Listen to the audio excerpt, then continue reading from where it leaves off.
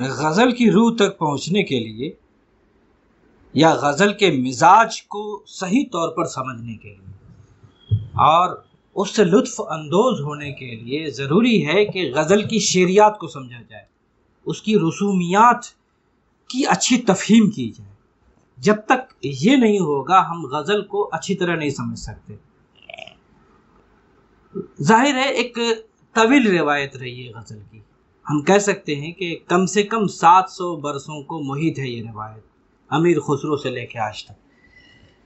और ज़ाहिर है कि अचानक ये शेरियात या इसका तस्वुर फ़न या इसका निज़ाम फ़न वजूद में नहीं आ गया बल्कि इरतका पजीर रहा और एक मुसलसल एक अमल से गुज़रते हुए ज़ाहिर है दक्कन के तीन सौ साल पूरी, पूरे शेरी दौर से गुज़रते हुए वली तक आते आते कह सकते हैं कि एक शेरियात वजूद में आ चुकी है, जिसको हम कहते हैं उर्दू शायरी का बाबा आदम एक ख़ास माने में।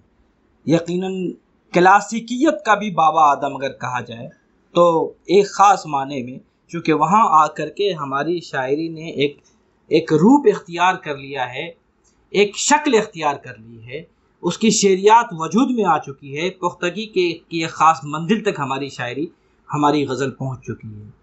तो एक तरह से शेरियात मुरतब हुई है आकर के बुनियादी तौर पर वली के यहाँ। उसके बाद कहना चाहिए आ, उसी शेरियात को उसी रिवायत को उसी तस्वुर फ़न को गोया के मीर तक तो कम से कम और मीर के बाद भी गालिब तक ये सिलसिला बरकरार रहता है।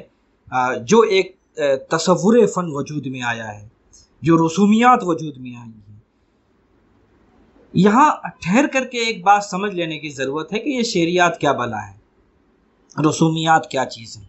ज़ाहिर है कि किसी भी सिंफ के ताल्लुक से जो तस्वुर है, और मैंने अर्ज़ किया कि तस्वुर एक दिन में नहीं बनता, वो बनते बनते बनता है। कम से कम 300 साल 400 साल का अरसा लगता है किसी भी तस्वुर को पुख्तातर होने में या एक रूप इख्तियार करने में। वही मामला गज़ल के साथ भी रहा। तो किसी भी सिंफ या किसी भी शेरी रुझान या किसी भी शेरी नज़रिए को एक ख़ास मुरतब और मनसूबाबंद निज़ाम बनने में जो मराहल तय करने पड़ते हैं और उसके बाद वो ज़ाहिर है एक पुख्ता शक्ल इख्तियार कर लेती है, उसको हम शेरियात कहते हैं। गज़ल की भी शेरियात है कि उसका तस्वुर क्या है, उसके कवायद क्या हैं, उसके असूल क्या हैं। किस तरह की चीज़ों को हम गज़ल कहेंगे, किस तरह की शायरी को तो उसके ताल्लुक से हमारे उस्ताद इस ने, हमारे कदीम शुरा ने जो तस्वुर कायम किया है अमलन भी और नज़रियाती सतह पर भी। तो हम उसकी बुनियाद पर शेरियात मुरतब करते हैं। शेरियात के ताल्लुक से एक तस्वुर कायम करते हैं। हमारे यहाँ गज़ल की जो शरियात तय हुई, उसमें आप देखिए, उस सबसे पहले तो उसकी एक ख़ास हैत है। ज़ाहिर है, मतला है दोहराने की ज़रूरत नहीं है इस बात को कि उसके दोनों मिसरे पहला शेर जिसके दोनों मिसरे हम रदीफ़ व हम काफ़िया हों, फिर उसके बाद हर दूसरा मिसरा शेर, हर शेर का दूसरा मिसरा हम हम रदीफ़ व हम काफ़िया हो। आखिर में एक ऐसा शेर जो ज़रूरी तो नहीं है, लेकिन उमूमन होता है कि जिसमें शायर अपना तखलस इस्तेमाल करता है, उसको हम मख्ता कहते हैं। ये तो हैत है। उसके ताल्लुक से भी हमारे यहाँ ज़ाहिर है, वो तमाम चीज़ें मौजूद हैं। लेकिन कुछ तस्वुरात उसके फ़न से वाबस्ता हैं। हर चीज़ के बारे में एक तस्वुर कायम कर लिया गया है। मैं बुनियादी तौर पर ख़ास तौर से शमसरमान फ़ारूकी ने और दूसरे हमारे बड़े अहम नाकदीन ने गज़ल की शेरियात पर जो गौर किया और मनसूबाबंद तौर पर उन्होंने ज़ाहिर है उसको एक मुरतब शक्ल अता की है। तो उस बुनियाद पर हम देखते हैं कि कुछ अहम निकात हैं, कुछ अहम अनासर हैं, जिसको गज़ल की शरियात के, का, के लवाजमात में गोया के शामिल किया जा सकता है। उसमें रब्त, अब यहाँ, इस पर एक एक लेक्चर की ज़रूरत है असल में। मैंने ये खाका जहन में मुरतब किया है कि गज़ल की शरियात पर कई लेक्चर्स हूँ, ताकि पूरी तरह गज़ल की शरियात हमारे सामने आ जाए कि गज़ल का तस्वुर क्या है, गज़ल की रसूमियात क्या है। तो कुछ अहम निकात हैं या कुछ अहम अनासर हैं गज़ल की शरियात के? जो हमारे नाकदीन ने तय किए हैं या मुतन किए हैं। उसमें रब्त रवानी इस पर अलग अलग लेक्चर होगा। मुनासिबत बंदिश की चुस्ती बहुत अहम उनसर है। मजमून मजमून आफरीनी है मजमून बंदी है। आ, उसी तरह इस्तारा इस्तारा साजी माने माने आफरीनी। उसी तरह से ताज़ा ख्याली या कह लीजिए नाजुक ख्याली ख्याल बंदी बहुत अहम उनसर रहा है। मामला बंदी अदा बंदी उसी तरह से कैफियत को भी एक अहम उनसर करार दिया गया है। शोर अंगेज़ी रियायत रियायत की भी बहुत सारी किस्में हैं ईहाम भी एक किस्म है, और इंशाइया उसलूब। ये पंद्रह ऐसे अहम महवरी और मरकज़ी और बुनियादी अनासर हैं, जिसकी बुनियाद पर गज़ल की शरियात मुरतब की जा सकती है। आज की मेरी यह गुफ्तु असल में ख्याल बंदी के हवाले से होगी। देखिए, अगर गौर किया जाए, इसमें कोई शक नहीं कि अहम गोया कि गज़ल की अहम तरीन खसूसियत, गज़ल की नुमाया तरीन, गज़ल का इम्तियाज़ अगर किसी चीज़ को करार दिया जा सकता है, उसकी रूह या उसका मरकज़ महवर तो गज़ल दरअसल तहदारी का नाम है, गज़ल ईमाइत का नाम है। गज़ल इशारियत का नाम है। गज़ल दूर, वो के दबीज पर्दे में बात कहने का नाम है। ख्याल को इंतहा तक पहुँचाने का नाम है। किसी ने कहा भी है कि गज़ल दरअसल इंतहाओं का सिलसिला है। इंतहाओं के सिलसिले का नाम है क्लाइमेक्सिस का नाम है। तो अगर इस माने में देखा जाए तो ख्याल बंदी गज़ल की शेरियात का महवरी, असासी और बुनियादी गोया के उनसर करार पाता है। अब ये ख्याल बंदी है क्या चीज़? कुछ बुनियादी बातें। ख्याल बांधना, ये क्या है? ख्याल, दर ख्याल दर ख्याल। एक ख्याल की बुनियाद पर दूसरा ख्याल, उससे वाबस्ता करना, तीसरा ख्याल, चौथा ख्याल। मुख्तलिफ़ रंगारंग ख्याल को एक लड़ी में पिरो देना, एक तस्वुर में पिरो देना। ये दरअसल ख्याल बंदी का असूल है। इस्तारा दर इस्तारा का अमल, ख्याल दर ख्याल का अमल। इस्तारे को हकीकत बनाना और हकीकत को फिर इस्तारा बना देना। मुजरद को गोया के मुजस्म कर देना मुजस्म को मुजरद कर देना। ये एक अजीब अमल है जो आसान काम नहीं है, हर शायर के बस का बस का रोग नहीं है ये। ये दरअसल एक फ़ारसी की भी रवायत नहीं, फ़ारसी में भी दरअसल सबके हिंदी जो तीन सबक हैं या तीन उसलूब हैं, फ़ारसी में मशहूर सबके इस्फहानी सब, सबके खुरासानी और सबके हिंदी सबके हिंदी में हमारे ज़ाहिर बर सग़ीर के जितने बड़े फ़ारसी को हैं, उन सब का ताल्लुक़ सबके हिंदी से खुसरो, फैज़ी जहूरी और उसी तरह से फिर बाद में चल कर के हमारे यहाँ अब्दुल कादिर बेदिल, जो बहुत अहम शायर है सबके सबके हिंदी का। उसी रिवायत का अमीन और उसी रवायत को आगे बढ़ाने वालों में फ़ारसी में गालिब और इकबाल भी हैं, उसी सबके हिंदी की रवायत को। मैं अब उसमें नहीं जाना चाहता सबके, लेकिन ये दरअसल ख्याल बंदी जो है, ये सबके हिंदी की रवायत का हिस्सा है। और हमारी उर्दू शायरी का एक बड़ा हिस्सा सबके हिंदी से मुतासर हुआ है। दरअसल यहाँ ये अर्ज़ कर देना ज़रूरी है कि अब्दुल कादिर बेदिल से मुतासर होकर के हमारे यहाँ ये सिलसिला शुरू हुआ। आप देखिए कि अब्दुल कादिर बे, बेदिल का इम्तियाज़ असल में ख्याल बंदी है। वो दरअसल ख्यालबंद शायर हैं। उनसे मुतासर वली दकनी तक हुए हैं और फिर बाद में गालिब हुए हैं। मीर भी कहीं ना कहीं मुतासर हैं। लेकिन असल में नुमाया तौर पर जो मुतासर हुए वो गालिब है। तर्ज बेदिल में रेख्ता कहना असदुल्ला खां क़यामत है। ये उसी ख्याल बंदी की तरफ़ इशारा है। तर्ज बेदिल का मतलब है ख्याल बंदी मीर तकी मीर ने अपने बारे में ये कहा था या ये कहा है कि जुल्फ सा पेचदार है हर शेर। जुल्फ सा पेचदार है हर शेर। अब पेचदार की अभी आगे वजाहत होगी, है सुखन मीर का, अजब धब का। ये पेशदार क्या चीज़ है? ये उसी ख्यालबंदी की तरफ़ इशारा है मीर का, कि मीर के शेर को सादा समझना, सहल समझ लेना, सपाट समझ लेना बहुत बड़ी गलत फहमी है। उस सादापन के अंदर तहदारी है, पुरकारी है। और वो पुरकारी पैदा होती है दरअसल ख्याल बंदी से। उसकी मिसालें भी आगे आएँगी। पहले ख्याल बंदी को समझ लेना ज़रूरी है। इसका रिश्ता नाजुक ख्याली या मजमून बंदी, पेचदारी, तहदारी, इस्तारा दर इस्तारा, ख्याल दर ख्याल। तो इस तरह का की जो चीज़ें हैं, हमारे यहाँ, ये दरअसल ख्याल बंदी से पैदा होती है। ख्याल बंदी की ही शक्लें हैं। अब्दुलरहमान दहलवी ने मिरतुशेर जो उनकी अहम किताब है, उसमें बड़ी अच्छी बात कही है कि ख्यालबंदी है क्या चीज़? किसी का सर ले लिया, किसी का धड़ ले लिया, किसी की आँखें ले ली, किसी के कान ले लिए और एक नई खिलकत वजूद में ले आया शायर। ख्याल की, के ज़ोर पर। एक एक नई मखलूक बना दी। ये काम आसान नहीं है। कि साहब इस तरह की मुख्तलिफ़ चीज़ों को मिला करके, मुख्तलिफ़ अनासर को के इम्तजाज से एक नई शक्ल उसको दे देना। तो ख्याल बंद शायर बड़ा शायर होता है दरअसल। गालिब का इम्तियाज़ अगर आज है हमारे नज़दीक तो वो दरअसल इस बुनियाद पर है कि गालिब हमारा इम्तियाजी, बल्कि कहना चाहिए मुमताज़ तरीन ख्याल बंद शायर है। ख्याल बंद तो हमारे और भी लोग रहे हैं, इसकी मिसालें भी आएँगी। मैंने अभी अर्ज़ किया था कि फ़ारसी से ये रिवायत आई है। वहाँ अब्दुल कादिर बेदिल हैं, शाह, और उसी तरह से जलाल असीर हैं, नासिर अली। ये तीन अहम ख्यालबंद शोरा हैं, सबके हिंदी की रवायत से वाबस्ता हैं। उर्दू में मैंने अर्ज़ किया वली दकनी शाह नसीर, इसकी बेहतरीन मिसाल है। नासिक और मीर। नासिक तो खैर बुनियादी तौर पर ख्यालबंद शायर है, लेकिन उनके यहाँ ख्याल बंदी अभी कुछ मिसालें आगे आएँगी कि ख्याल बंदी को निभाने का अमल ज़रा कमज़ोर हो जाता है, मिसरों का रिश्ता दोलख्त हो जाता है। जिसकी वजह से वो कमज़ोर पड़ जाते हैं। गालिब के यहाँ ये कम, ये खामी नहीं है। बंदिश हमेशा बहुत मुस्तकम रहती है।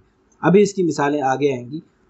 आ, तो पेचीदगी जो पैदा होती है शायरी में आ, वो कई तरह से पैदा होती है। मुबालगे की वजह से इस्तारे की वजह से तशबी की वजह से दूर अजकार ख्याल को ज़ाहिर है कि इस तरह से एक लड़ी में पिरो देना मीर के बारे में जितने तस्करा निगार आपको मिलेंगे, कोई उसको मानी ईजाद करार देता है। मानी कहाँ से पैदा हो रहे हैं? इसी ख्याल बंदी से।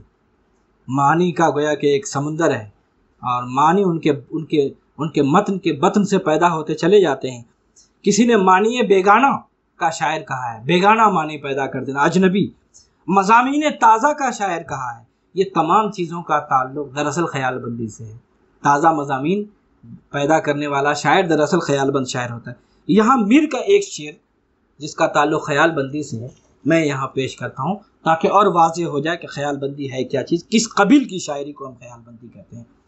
आखिर अदम से कुछ भी न उखड़ा मेरा मियाँ, आखिर अदम से कुछ भी न उखड़ा मेरा मियाँ, मुझको था दस्ते गैब, पकड़ ली तेरी कमर। मुझको था दस्ते गैब, पकड़ ली तेरी कमर। हमारी असल मजमून क्या है? असल मजमून तो ये है कि महबूब की कमर बहुत नाजुक होती है, बहुत बारीक होती है, बहुत पतली होती है। असल मजमून ये, और ये रिवायत हमारे यहाँ, ये तस्वुर हमारी गज़ल में, रिवायत में मौजूद है। बहुत से शेर इस पर हैं। अब यहाँ कितनी मिसालें दी जाएँ, ये वक्त भी नहीं कि वहाँ कमर की नाजुकी और नज़ाकत की मिसालें पेश की जाएँ। लेकिन इस मजमून को देखिए मुबालगा जब आता है कमर की नाजुकी कमर की बारीकी और पतलेपन को जब मुबालगा के ए, के सेगे में बयान करेंगे तो अदम कह देंगे उसको। अब शायर ने मीर ने कमर की नज़ाकत और बारीकी और उसके उसके पतलेपन को मुबालगे के साथ बयान करके उसको अदम करार दिया पहले।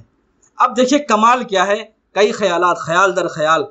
पिरो करके कैसा मजमून बांधा है कि अदम, अगर माशूक की कमर अदम भी हो गई, हर आशिक की ख्वाहिश होती है कि माशूक की कमर तक रसाई हो जाए।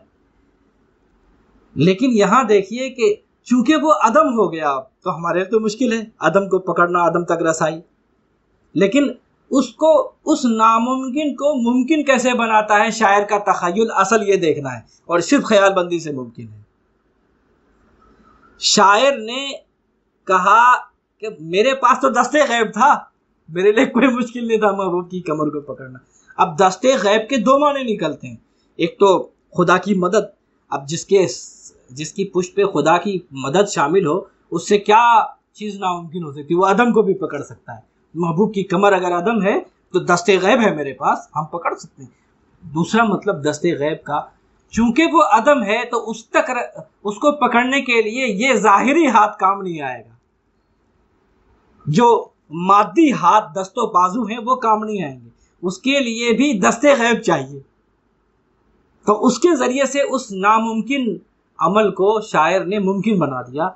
ये दरअसल कई ख्याल को एक साथ मुजतमा करने का नतीजा।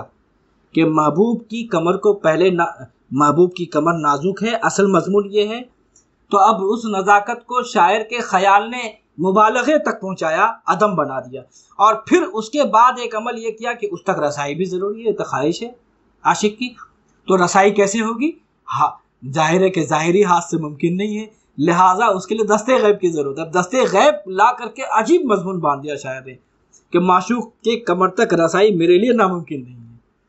तो ये ख्याल बंदी की एक आला मिसाल है, आखिर अदम से कुछ भी न उखड़ा, मेरा मियाँ। मुझको था दस्ते गैब, पकड़ ली तेरी कमर। तो नासिक ने इसी मजमून को क्या, किस किस दर्जे तक पहुँचा दिया है? क्या अजीब नाजुक ख्याली है? दीवान में सादी ही जगह छोड़ दी मैंने। मजमून वही है, महबूब की नाजुक कमरी। दीवान में सादी ही जगह छोड़ दी मैंने। मजमून ये बांधा, तेरी नाजुक कमरी का। क्योंकि माशूक की नाजुक कमरी का मजमून बांधना था तो मेरे पास कोई और दूसरा रास्ता नहीं था। अब वरक को सादा रखना क्या गजब मुबालगा है नजाकत। कि अगर जरा सी लकीर भी खींच दी तो उसमें तो एक वजूद आ गया। वजूद तो है ही नहीं महबूब माशूक की कमर तो महूम है, अदम है। उस अदम का तकाजा है कि वरक को सादा रखा जाए। तो ये ख्याल बंदी का शायर जो होता है, उसका ख्याल कहाँ तक पहुँचता है? दीवान में सादी ही जगह छोड़ दी मैंने। माशूक मजमून ये बांधा तेरी नाजुक कमरी का। गालिब उससे आगे की मंजिल तय करता है। गालिब तो अजीब शायर है ख्याल बंदी में मुजरत को मुजस्म बना देना मुजस्म को मुजरत कर देना, उसके बाएँ हाथ का खेलना और इसी में वो कमाल दिखाता है असल में। अब वो कमर के मजमून को के अदमियत को कमर के अदम होने को शाहिद हस्ती की से किस तरह हस्ती मुतलक से किस तरह जोड़ता है? हस्ती मुतलक भी दरअसल अदम ज़ाहिर है कि वो उस तरह उसका वजूद मुजस्म नहीं है। कहते है शाहिद हस्ती मुतलक की कमर है मा आलम। ये दुनिया जो है, अब देखिए क्या मजमून बन रहा है। ये दुनिया क्या है? ये तो शाहिद हस्ती मुतलक की कमर है। गोया है नहीं है, जैसे कमर जो है, वो अदम है। माशूक की कमर अदम है, उसका कोई वजूद नहीं है। लेकिन चूँकि इसके वजूद के इस बात और नफ़ी का झगड़ा चल रहा है फ़लसफियों में तनाज़ा है, इसमें इख्तलाफ है। अब देखिए क्या बात कहते हैं, शाहिद हस्ती मुतलक की कमर है आलम। लोग कहते हैं कि है, पर मुझे मंजूर नहीं। इस मजमून को गालिब ने जगह जगह बांधा है। वदतुल वजूद, वदतुल शहूद का मजमून है कि दुनिया गोया कि उसका कोई वजूद नहीं है, ख्याली है, ख्वाब है सब। जगह जगह आप जानते हैं, आलम हस्ती के मत फरेब में आ जाइए असद। आलम तमाम हल्का दाम ख्याल है। या अपने बारे में कहा इंसान इंसानी हस्ती के बारे में कहा कि हैं ख्वाब में होनू, जो जागे थे ख्वाब में। ये सब कुछ ख्वाब का सिलसिला है ख्वाब दर ख्वाब का सिलसिला है। तो इस मजमून को किस तरह, किस खूबसूरती से ख्याल बंदी के सहारे गालिब ने बाँध दिया, शाहिद हस्ती मुतलक की कमर है आलम। लोग कहते हैं कि है, पर मुझे मंजूर नहीं। अब मीर का एक शेर सुनिए साहब। माशूक की बेवफाई मशहूर है। माशूक वादा वफा हो ही नहीं सकता। वो अहद शिकन होता है, उसकी पहचान यही है। अब इस मजमून को किस नज़ाकत से पेश दे दिया शायर ने, मीर ने? कहते हैं, उसके ईफाए अहद तक न जिए। उसके ईफाए अहद तक न जिए, उम्र ने हमसे बेवफाई की। बिल्कुल माकूस कर दिया मामला। और तर्ज की शिद्दत देखिए। माशूक तो बेवफा नहीं हो सकता भाई। माशूक तो वफा करता। लेकिन हम ही इंतज़ार नहीं कर सके, हमारी उम्र वफा नहीं कर सकी। हम जी नहीं सके वहाँ तक। कोई एक वक्त आता जब ये माशूक वफा करता, वादा वफा करता, लेकिन उस वक्त तक हमारी उम्र ने खुद बेवफाई, महबूब ने बेवफाई नहीं किए अहद चिकनी नहीं की खुद मेरी उम्र ने मुझसे बेवफाई कर दी। तो मजमून तो दरअसल माशूक की बेवफाई का है, लेकिन शायर का ख्याल तंज पैदा करने के लिए और गोया के एक तौर पर कह लीजिए कि मजमून को माकूस रंग देने के लिए। और एक मुहावरा वह भी है कि उम्र वफा नहीं करती है। और माशूक का शिकवा नहायत लताफत के साथ करना गिला। इस इस मामले में गालिब का शेर भी मान पड़ जाता है, बिल्कुल सामने का शेर है। वहाँ सीधे सीधे माशूक को बेवफा कह दिया गया है, मीर के मुकाबले में। और मशहूर शेर है, आप जानते हैं सब लोग। ये न थी हमारी किस्मत के विशाल यार होता। अगर और जीते रहते यही इंतज़ार होता। या वो एक शेर और है ना कि हम्म, तेरे वादे पे जिए हम तो ये जान झूठ जाना। कि खुशी से मरना चाहते अगर एतबार एतबार होता। वहाँ तो बराह रास्त शिकवा हो गया।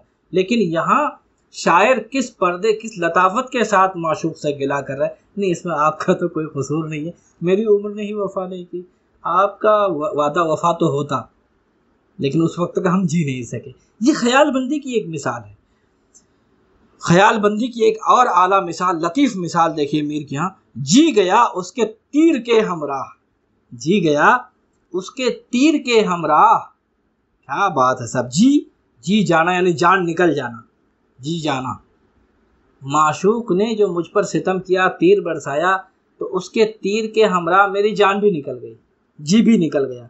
जी गया उसके तीर के हमरा अगला मिसरा, देखिए क्या गज़ब का ख्याल बंदी की क्या आला तरीन मिसाल है साहब।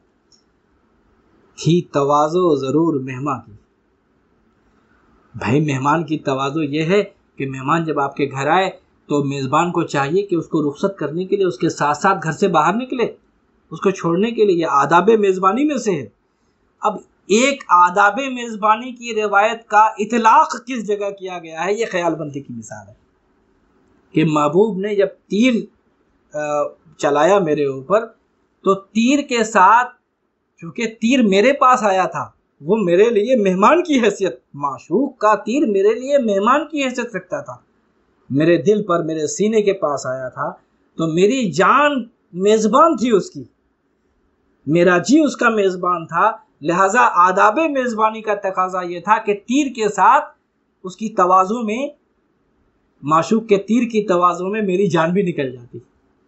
अब देखिए क्या, कहाँ तक ख्याल को पहुँचाया है? जी गया उसके तीर के हमरा थी तवाज़ो ज़रूर, मेहमा की। हालाँकि इस शेर, मीर के शेर की बुनियाद साहिब तबरेज़ी के एक शेर पर है। फारसी शेर पर। ताजुब नीस्त, गर जा रफ्त बा तीरश जतन बेरू ताजुब नीस्त गर जा रफ्त, बा तीरश, जतन बेरू, के बा मेहमा बरू, अज खाना साहिब, खाना मी आयत। वही मजमून है दरअसल, कि कोई हैरत की बात नहीं, अगर मेरी जान उसके तीर के साथ तन से बाहर निकल गई। ताजुब नीस, कोई हैरत की बात नहीं, गर जा, रफ्त मेरी जान निकल गई बा तीरश उसके तीर के साथ, जतन बेरू मेरी जान मेरे मेरे तन से बाहर अगर निकल गई, चूँकि गा के बा मेहमा बरू, अज खाना साहेब खाना मियायत के ये तो साहिब खाना का की तवाज़ो का उसके अखलाक का तकाजा है कि मेज़बानी के तौर पर मेहमान के साथ घर से बाहर उसको छोड़ने के लिए जाए। लिहाजा ये तो लेकिन इस शेर में आप गौर कीजिएगा, तफसील बहुत बयान की गई है। तबरेज साहिब के इस शेर में। और वजाहत और सराहत शेरियत को कमज़ोर करती है, उसमें नसरियत पैदा करती है। और मीर ने एक अजीब सा इजमाल कायम करके ईमाई रंग पैदा कर दिया है। जी गया, उसके तीर के हमरा थी तवाज़ो ज़रूर मेहमा की। तो बहरहाल, शौकत बुखारी का, जो कि फ़ारसी का एक आला दर्जे का ख्यालबंद शायर है, उसने तो कमाल कर दिया। इस तारे को हकीकत बनाया और उस हकीकत की बुनियाद को फिर इस्तारा इस्तारा कर दिया। ख्याल बंदी की अला तरीन मिसाल। गोश, हा, आशियाँ, मुर्गे, आतश, खुर्दा कर अजीब कैफियत पैदा होती है। एक मुजिक सूरत हाल भी कह सकते हैं इसको। गोश हारा आशियाँ, मुर्गे, आतश, खारा कर बरक़ आलम सोज, यानी शोले हो गए मन अब अब देखिए आप, एक परिंदा है जिसको आतिशखोर कहा गया है, कि उसकी खुराक आग है। और परिंदे का काम क्या है? घोंसला बनाना। अब ये एक ख्याली बात है कि आतिशखोर एक परिंदा होता है, जो कि ज़ाहिर आग उसकी खुराक है, और परिंदे के बारे में ये एक आम हकीकत है कि वो घोंसला बनाता है। अब शायर ने कहाँ से कहाँ ख्याल को मिलाया है किसी का सर, किसी का धड़ लेकर के एक नई खिलकत कैसे वजूद में आती है कि मेरे महबूब के कान गोशहा, गोशहारा आशिया घोंसले बना, कानों में घोंसले बना दिए। किसने? मुर्गे आतश खारा। उस परिंदे ने जिसकी खुराक आग है, उसने मेरे महबूब के कानों में घोंसले बना दिए। क्यों? बरक़ आलम सोज यानी शोले गोगाए मन।